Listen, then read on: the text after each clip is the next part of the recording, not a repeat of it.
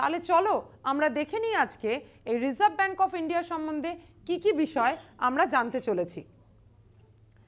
আমরা আলোচনা করব রিজার্ভ ব্যাঙ্ক অফ ইন্ডিয়া সম্পর্কে প্রথমে কিছু বেসিক ইনফরমেশন ইনফরমেশনের মধ্যে আমরা প্রথমে দেখে নেব যে, প্রথমে দেখব যে রিজার্ভ ব্যাঙ্ক কবে তৈরি হয়েছে, কবে ন্যাশনালাইজ হয়েছে, এই ধরনের কিছু বিষয়। তারপর আমরা কথা বলব আরবিআই এর রোল বা ফাংশন নিয়ে।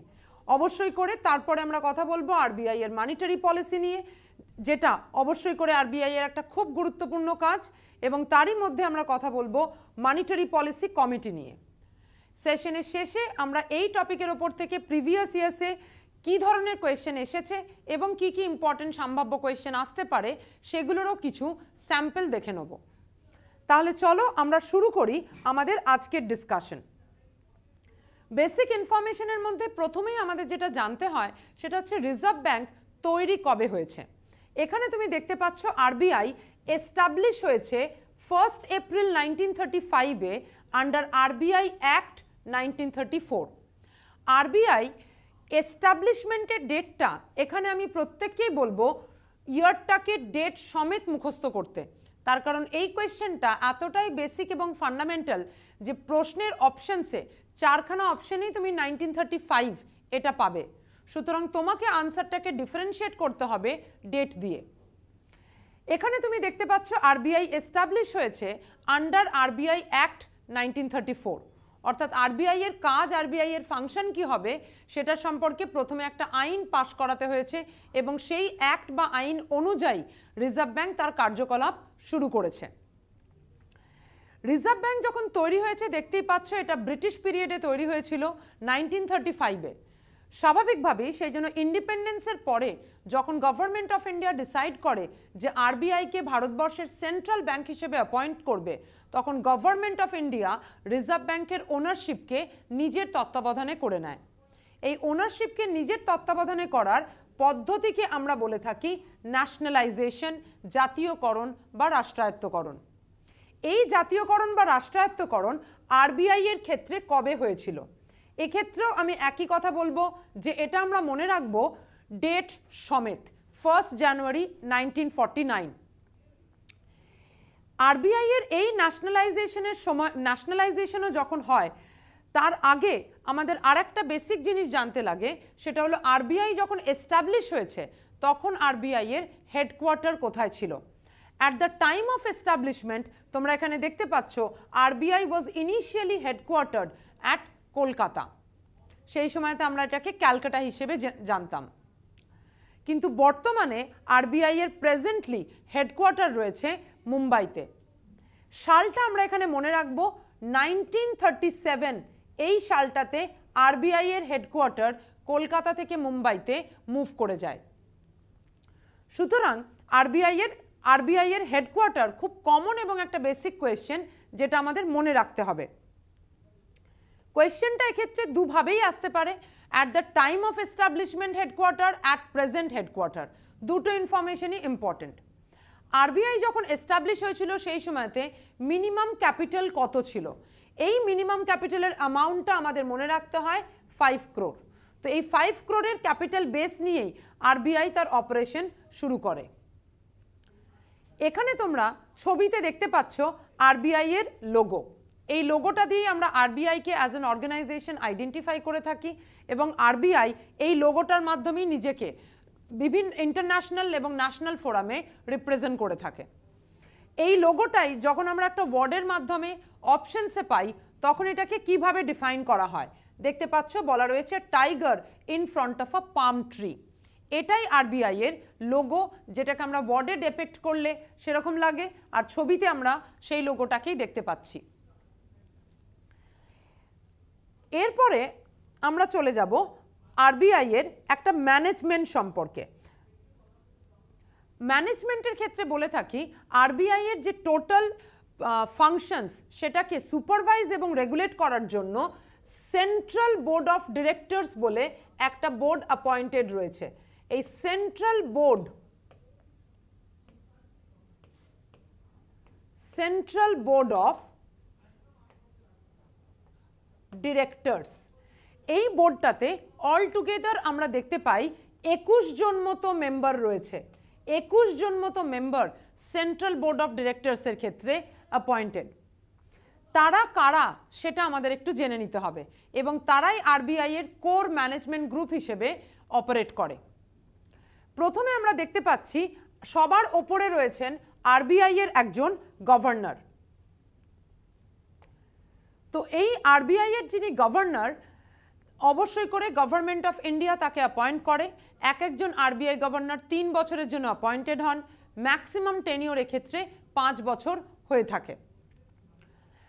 প্রথম আরবিআই গভর্নর যিনি অ্যাপয়েন্টেড হয়েছিলেন, অবশ্যই করে তিনি একজন ব্রিটিশ ভদ্রলোক, তার নাম অসবোন স্মিথ।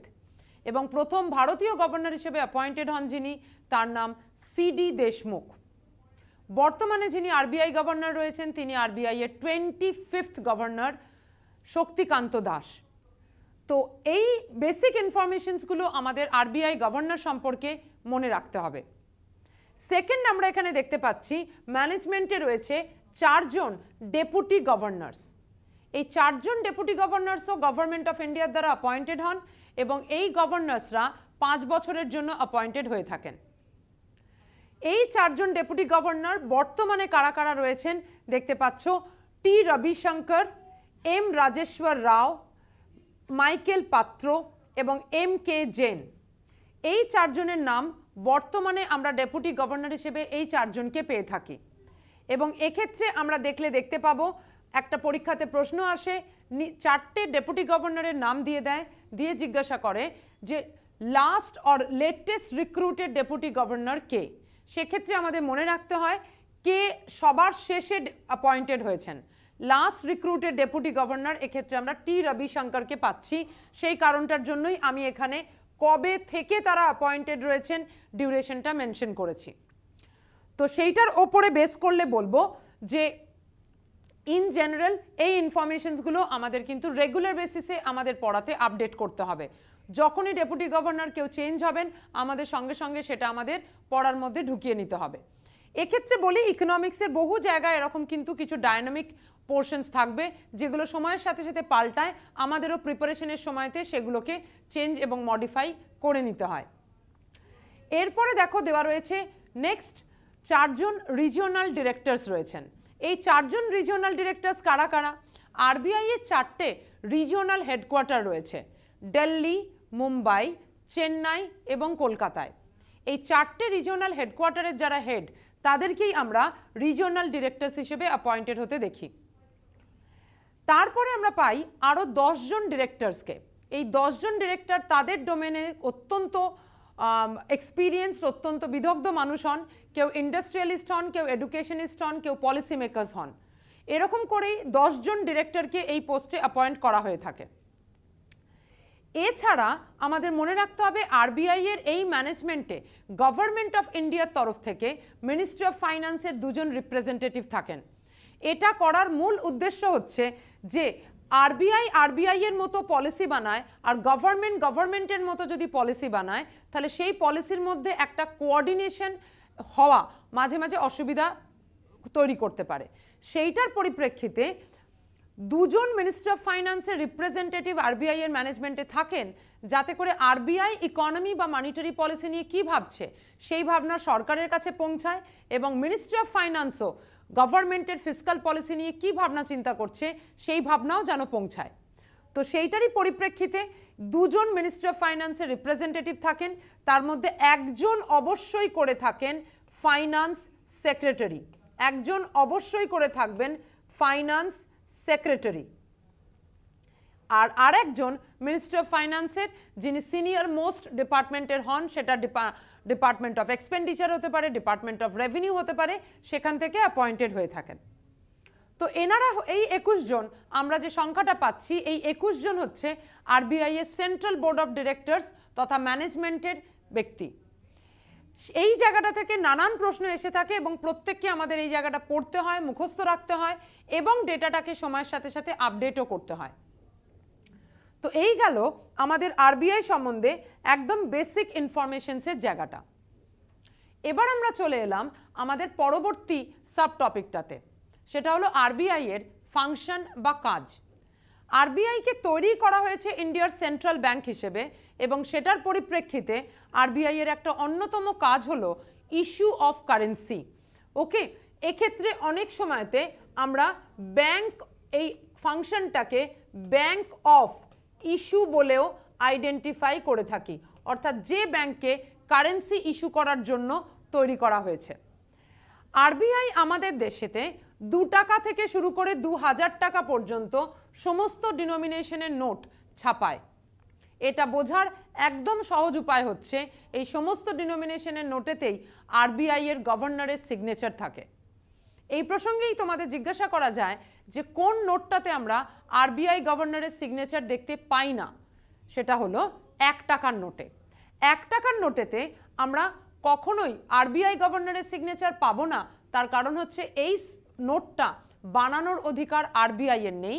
এটা ইস্যু করার অধিকার রয়েছে গভর্নমেন্ট অফ ইন্ডিয়ার এখানে দেখতে পাচ্ছ, দু নম্বর পয়েন্টে মেনশন করা রয়েছে right to issue one rupee note এই ব্যাংক নোটটা গভর্নমেন্ট অফ ইন্ডিয়া ইস্যু করবে।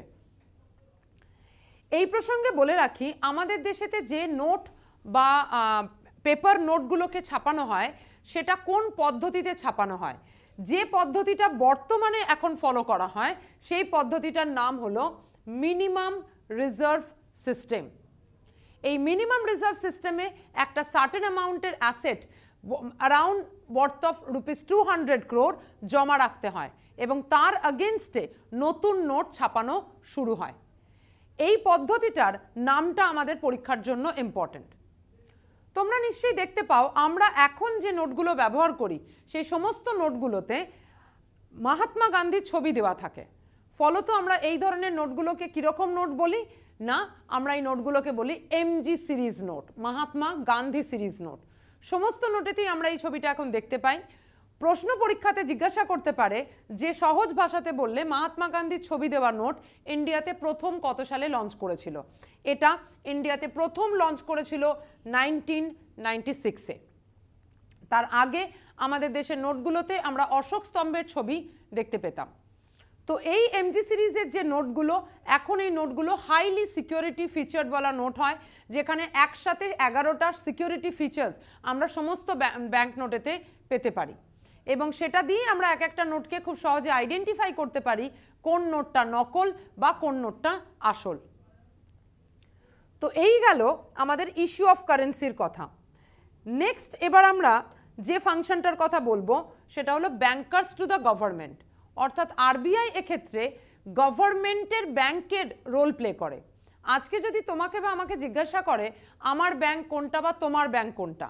আমরা সেই ব্যাংকেরই নাম নেব, যে ব্যাংকের মাধ্যমে আমরা আমাদের যাবতীয় ব্যাংকিং ট্রানজাকশনস করব। সেরকমভাবে গভর্নমেন্টকে যদি আমরা একটা অর্গানাইজেশন বা কর্পোরেশন ভাবি, তাহলে গভর্নমেন্ট তার day to day banking transactions করার জন্য কোন ব্যাংককে তার এজেন্ট বা রিপ্রেজেন্টেটিভ হিসেবে ব্যবহার করে। এক্ষেত্রে এই ব্যাংকিং এজেন্টের রোলটা প্লে করে আরবিআই। সেই জন্যই আমরা আরবিআইকে বলছি গভর্নমেন্টের ব্যাংক বা ব্যাংকার্স টু দ্য গভর্নমেন্ট। এক্ষেত্রে আমি মনে করিয়ে দিই গভর্নমেন্ট অফ ইন্ডিয়ার ব্যাংকিং এজেন্টের রোল প্লে করার সাথে সাথে আমাদের দেশের সমস্ত কটা স্টেট গভর্নমেন্টেরও ব্যাংকিং এজেন্টের রোল প্লে করে থাকেন আরবিআই এই জায়গাতে দাঁড়িয়ে মানে পরীক্ষার প্রশ্নের পরিপ্রেক্ষিতে বলি যে কিছুদিন আগে পর্যন্ত আমরা দেখেছি দু হাজার তেরো সাল পর্যন্ত জম্মু অ্যান্ড কাশ্মীর আর সিকিম এই দুটো এক্সেপশনাল স্টেট ছিল, যে দুটো স্টেটের জন্য আরবিআই ব্যাংকিং এজেন্টের রোল প্লে করতো না। তার কারণ তোমরা জানোই, জম্মু কাশ্মীর একটা সময়তে একটা স্পেশাল স্টেটাসের স্টেট ছিল, আর সিকিমও প্রথম থেকে ভারতবর্ষের অঙ্গরাজ্য ছিল না। স্বাভাবিকভাবেই আমরা জম্মু এবং কাশ্মীরের ক্ষেত্রে একটা প্রাইভেট ব্যাংক, অর্থাৎ জম্মু অ্যান্ড কাশ্মীর ব্যাংকে গভর্নমেন্টের ব্যাংকের রোল প্লে করতে দেখতাম। আর সিকিমের ক্ষেত্রেও স্টেট ব্যাংক অফ সিকিম নামক একটা প্রাইভেট ব্যাংকে আমরা সিকিম গভর্নমেন্টের ব্যাংকিং এজেন্টের রোল প্লে করতে দেখতাম। কিন্তু বর্তমানে আমরা জানি জম্মু এবং কাশ্মীর এখন আর স্টেট হিসেবে অপারেট করে না, আর সিকিমের ক্ষেত্রেও আরবিআই তার ব্যাংকিং রোলটাকে টেক ওভার করে নিয়েছে। এই প্রসঙ্গে আর একটা ছোট্ট ইনফরমেশন ডব্লিউবিসিএস মেনেতেও জিজ্ঞাসা করেছিল এই কোয়েশ্চেন যে আরবিআই এর অনুপস্থিতিতে বা আরবিআই যে ধরনের ব্যাংকিং এজেন্টের কাজ করে না, সেই কাজগুলো গভর্নমেন্ট কোন ব্যাংকের সহায়তা নিয়ে করবে? সেই জায়গাতে এসবিআই এর রোল আমরা দেখতে পাই। সেটা স্যালারি ডিসবার্সমেন্ট থেকে শুরু করতে, শুরু করে currency circulation money currency chest maintain করা, এই সমস্ত কাজগুলো এসবিআই করে থাকে। সুতরাং এসবিআইকে সেই জন্য আরবিআই এর অবর্তমানে ব্যাংকার্স টু দ্য গভর্নমেন্ট বলা যেতে পারে। নেক্সট ফাংশন আমরা এখানে যেটা দেখতে পাচ্ছি, সেটা হলো custodian of foreign reserve custodian কথাটা আসে কোথা থেকে? না কাস্টাডি কথাটা থেকে। কাস্টাডি মানে হলো হেফাজত। ফরেন রিজার্ভ ফরেন রিজার্ভ এই কথাটার মানে কি? বলছে বৈদেশিক মুদ্রার ভান্ডার এটা বোঝার সুবিধার্থে অনেক সময়তে আমরা এটাকে ফরেক্স বলেও ডেকে থাকি ফরেন এক্সচেঞ্জ রিজার্ভ বৈদেশিক মুদ্রা আমরা কীভাবে পাই? আমাদের দেশের জিনিস যখন বিদেশের বাজারে আমরা বিক্রি করি, তার বিনিময়ে বৈদেশিক মুদ্রার আয় হয়। ঠিক একইভাবে বৈদেশিক মুদ্রার যেটা আমরা আয় করি সেটাকে ব্যবহার করে আমরা আমাদের জিনিস আমদানি করি। তো এই এক্সপোর্ট এবং ইম্পোর্ট বা রপ্তানি এবং আমদানির মাধ্যমে বৈদেশিক মুদ্রার কখনো আয় বাড়ছে, কখনো আয় কমে যাচ্ছে। এই এক্সপোর্ট এবং ইম্পোর্টের পরে কি পরিমাণ বৈদেশিক মুদ্রা আমাদের কাছে স্টকে থাকছে, জমা থাকছে, এটার পুরো হিসেব রাখার দায়িত্ব হচ্ছে আরবিআই এর। সেই জন্যই আমরা আরবিআইকে বলছি বৈদেশিক মুদ্রার হেফাজতকারী বা কাস্টাডিয়ান অফ ফরেন রিজার্ভ সেই এটারই রেফারেন্সে দেখো, এখানে মেনশন করা রয়েছে RBI has the responsibility to maintain foreign reserve in fact এখানে বলাও রয়েছে যে ফরেন এক্সচেঞ্জ রেটের যে কন্ট্রোল একটা সময় ইন্ডিয়াতে গভর্নমেন্টের রেগুলেশনসের আন্ডারে হতো, সেটাও গভর্নমেন্টের রিপ্রেজেন্টেটিভ হিসেবে। কে করতো না আরবিআই করতো? তো ফরেন এক্সচেঞ্জের রিজার্ভ মেনটেন করা ফরেন এক্সচেঞ্জের রেটকে ডিটারমাইন করা দুটো কাজেরই রেসপন্সিবিলিটি দেওয়া আছে আরবিআইকে নেক্সট এরপরে আমরা যে ফাংশনটাতে আসছি, খুবই ইম্পর্ট্যান্ট একটা ফাংশন এবং এই যে ফাংশনটা, এটার আন্ডারেতেই আমরা মেনলি পাই আরবিআই এর মানিটারি পলিসি এই প্রসঙ্গে বললে বোঝা যায় মানিটারি পলিসি কথাটার অর্থ কী। মানিটারি পলিসি হচ্ছে আরবিআই এর দ্বারা তৈরি করা এমন একটা পলিসি বা নীতি যার মাধ্যমে আরবিআই বাজারে টাকার যোগানকে নিয়ন্ত্রণ করে, দামের স্থিতাবস্থা বজায় রাখে এবং অর্থনৈতিক উন্নয়নে উৎসাহ প্রদান করে। এই পদ্ধতিটার জন্যই আরবিআই যে কাজটা করে, সেটা হচ্ছে বাজারে টাকার যোগানটাকে কন্ট্রোল করে ক্রেডিট সাপ্লাইটাকে রেগুলেট করে। সেই জন্যই আমরা এখানে আরবিআইকে বলছি কন্ট্রোলার অফ ক্রেডিট আরবিআই এই ক্রেডিটটাকে কন্ট্রোল করার জন্য ব্রডলি দু ধরনের পদ্ধতি নেয়। একটাকে আমরা বলি কোয়ান্টিটেটিভ ক্রেডিট কন্ট্রোল অর্থাৎ ক্রেডিটের কোয়ান্টিটিটাকে বাড়ানো এবং কমানোর জন্য আরবিআই কতগুলো ইনস্ট্রুমেন্ট ব্যবহার করে। সেগুলোকে আমরা বলছি কোয়ান্টিটেটিভ ক্রেডিট কন্ট্রোল আর অন্যদিকে ক্রেডিটের কোয়ালিটি ক্রেডিটের টার্গেট ক্রেডিটের প্রপার ইউসেজ এই বিষয়গুলোকে দেখভাল করার জন্য আরও কিছু পদ্ধতি রয়েছে। সেগুলোকে আমরা বলি কোয়ালিটেটিভ ক্রেডিট কন্ট্রোল তাহলে চলো এবার আমরা একটুখানি দেখে নিই এই কোয়ান্টিটেটিভ ক্রেডিট কন্ট্রোলের মধ্যে আরবিআই এর কাছে কি কি ইনস্ট্রুমেন্ট রয়েছে। এখানে আমরা বেশ কতগুলো পদ্ধতি বা রেটের নাম পাচ্ছি। যেমন এখানে দেখো, প্রথমে দেওয়া রয়েছে ব্যাংক রেট ব্যাংক রেট মানে নাম শুনেই বোঝা যাচ্ছে এটা একটা রেট এটা একটা ইন্টারেস্ট রেট যে ইন্টারেস্ট রেটে আরবিআই ব্যাংকগুলোকে লং রানে টাকা ধার দেয়। এই রেটটাকে যদি বাড়ানো হয় তাহলে লোনের খরচা ব্যাংকের বেড়ে যায়। তখন ব্যাংক এই ইন্টারেস্ট রেটেই আরবিআই এর কাছ থেকে লোন নেয়। ব্যাংকের লোনের খরচা বেড়ে গেলে ব্যাংক আরবিআই এর থেকে লোন নিতে উৎসাহ হারিয়ে ফেলে। স্বভাবতই ব্যাংকের হাতে টাকার যোগান কমে যায়। ব্যাংকের হাতে টাকার যোগান কমে গেলে ব্যাংক পাবলিককেও লোন কম দিতে পারে, পাবলিকের হাতেও টাকার যোগান কমে যায়। এই টাকার যোগানটাকে কমানোর প্রয়োজন আমরা কখন অনুভব করি? যখন বাজারে অলরেডি টাকার যোগান পর্যাপ্ত থাকে। বাজারে এই পর্যাপ্ত টাকার যোগানের জন্য অনেক সময় দেখা যায় ইনফ্লেশন হয়, জিনিসের দাম বেড়ে যায়। এই রকম অবস্থাতেই আরবিআই ব্যাংক রেটটাকে বাড়িয়ে লোনের দামটাকে বাড়ানোর চেষ্টা করে, ফলত টাকার যোগানটা কম, কমে। সেরকমভাবে আরও একটা রেট রয়েছে, দেখতে পাচ্ছ রেপো রেট এই রেপো রেটটা আরবিআই শর্ট রানে ইউজ করে ব্যাংক রেটের মতোই ব্যাংকগুলোকে লোন দিতে। ফলত ব্যাংক রেটও যেভাবে লোন নেওয়াতে ব্যাংক রেট বাড়লে যেমন করে এন ডিসকারেজমেন্ট তৈরি হয় রেপো রেটের ক্ষেত্রেও আমরা এক ঘটনা দেখতে পাই। রিভার্স রেপো রেটে কী হয়? ইনফ্লেশনের ফলে যখন বাজারে অতিরিক্ত টাকার যোগান তৈরি হয়, তখন ওই অতিরিক্ত টাকার যোগানের ফলে আমরা দেখতে পাবো যে অতিরিক্ত টাকাটাকে বাজার থেকে শুষে নেবার বা তুলে নেবার প্রয়োজনীয়তা রয়েছে।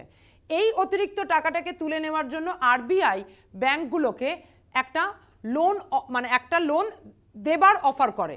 সেদিক থেকে ব্যাংক যখন লোনটা আরবিআইকে দেয় ব্যাংকের হাত থেকে টাকার যোগানটা আরবিআই এর কাছে চলে আসে এবং মানি সাপ্লাইটা কন্ট্রোলে চলে আসে।